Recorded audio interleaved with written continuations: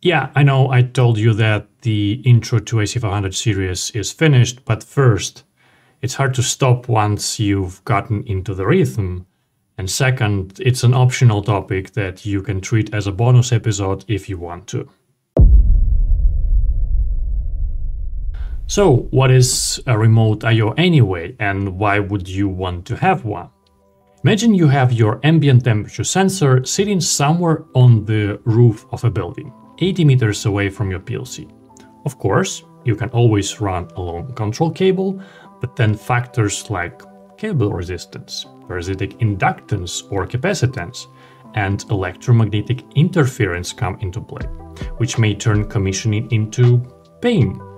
Another factor is a cable cost. The more sensors you have, the more cables you need, and the greater cost would be. Typical solution to this problem is uh, usage of a remote I.O. station. You can think of it as a digital or analog I.O. module with built-in communication interface. Example of such device is ABB CI501 Remote I.O. Station module. It has number of analog and digital inputs and outputs and Profinet I.O. interface.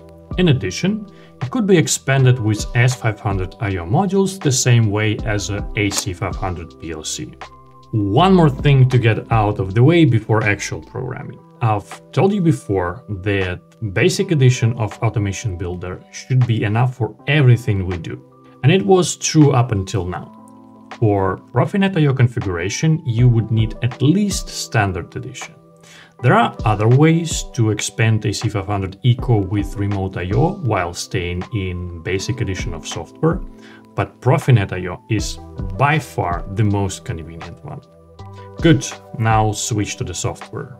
First, since we are going to connect Automation Builder and CI501 Remote I.O. station to the PLC at the same time, it is convenient to change embedded Ethernet ports to a switch mode, rather than two separate ports. Next, right-click on the Ethernet port and add new object. You're looking for the Profinet I.O. controller. Add object and close the window. Go to Profinet I.O. controller settings.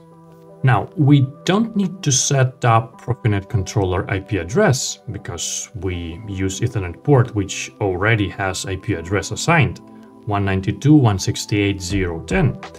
But what we need to do is to specify IP parameters which will be assigned to Profinet I.O. devices like CI501 when controller establishes connection to them.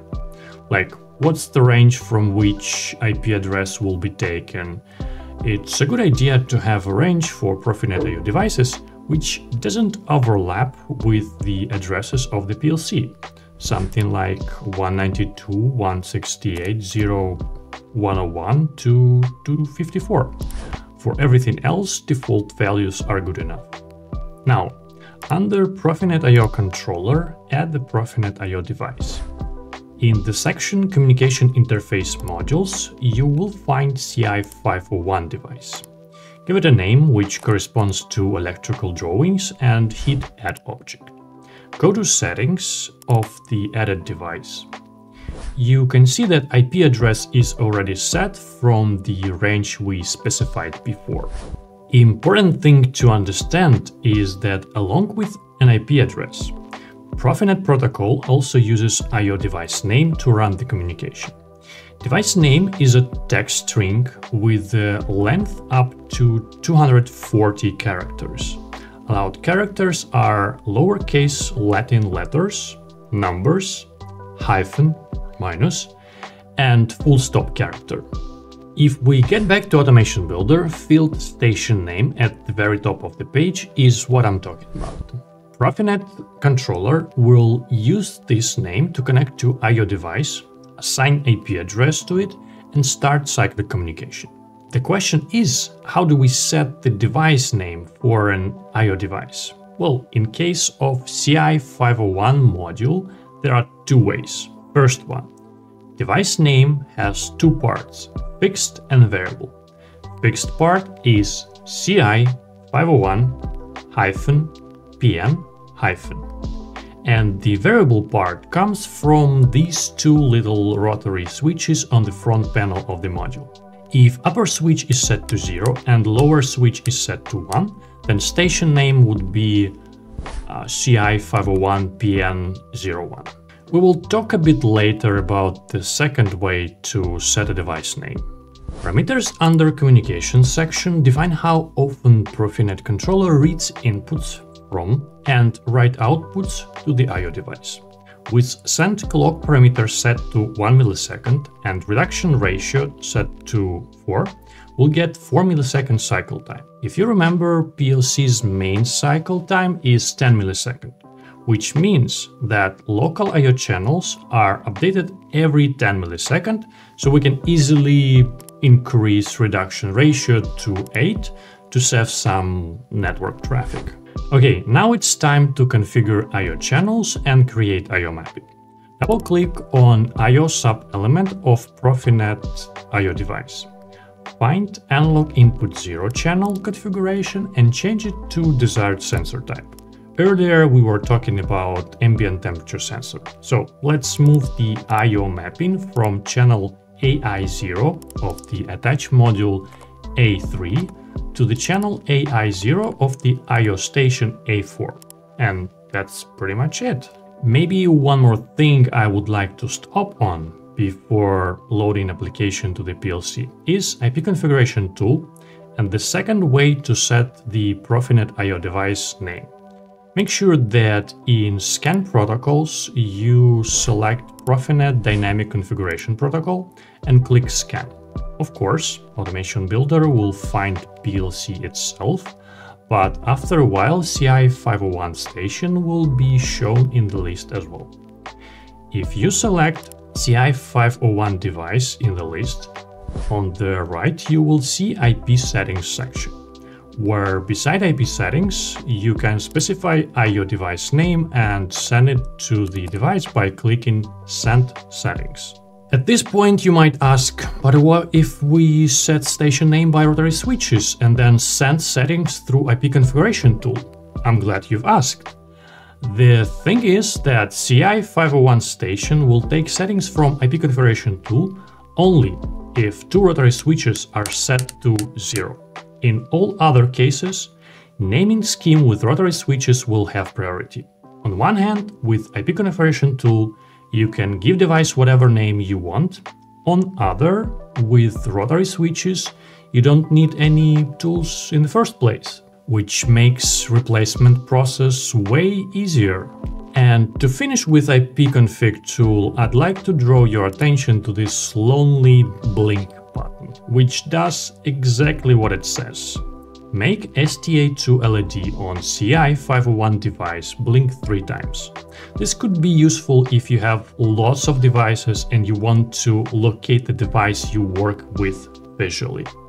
Cool, let's upload the project to the PLC. Okay, that is new, right? Still, we need to upload the project. Now, go to PLC settings and then to license information tab. And here it becomes clear that the PLC lacks Profinet IO controller runtime license. Runtime license is a type of license which is allocated to specific PLC unit and allows us to run certain feature, Profinet IO controller in our case. If you right-click on the PLC in the project tree and go to Runtime Licensing, you will see pretty much the same licensing wizard window that we've seen during Automation Builder installation. If you've purchased the license, put license key in this field. If not, then there is a demo license option. You simply select Create a demo license and hit Next button. A moment later, runtime demo license, valid for 10 days, will appear in available licenses section. But Automation Builder will still remind us time to time that proper license is missing.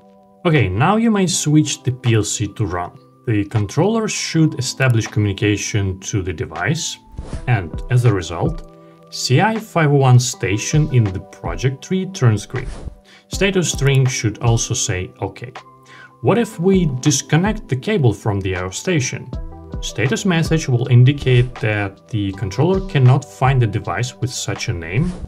On the status tab, there will be the device is not running message. And CI 501 element in the project tree will be highlighted with exclamation mark.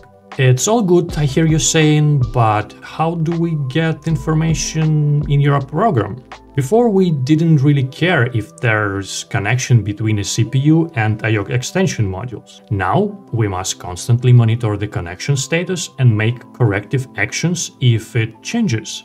Luckily, developers of Automation Builder already took care of that. In PNIO IEC object tab, there is a structure which has the same name as the Profinet IO device, A4. The structure has a child, boolean variable x running, which does exactly what the name suggests. It turns true when communication is running. Now we just need to take that flag into account in the part of the program where we handle analog I.O. scaling. Go offline, find scale AI function, add the additional input external fault, and then plug it in where the fault signal is formed. After that, go to AIO scaling program and make sure function calls contain newly added input. For all local IO inputs, connect false constant to the fault input. For ambient temperature, put inverted X running flag. Let's see how it behaves online. The ambient temp value is there and if the controller loses connection to the station, X running bit goes down and ambient temp channel has a fault. And that's how you connect a remote IO station to the PLC. Not that hard, right?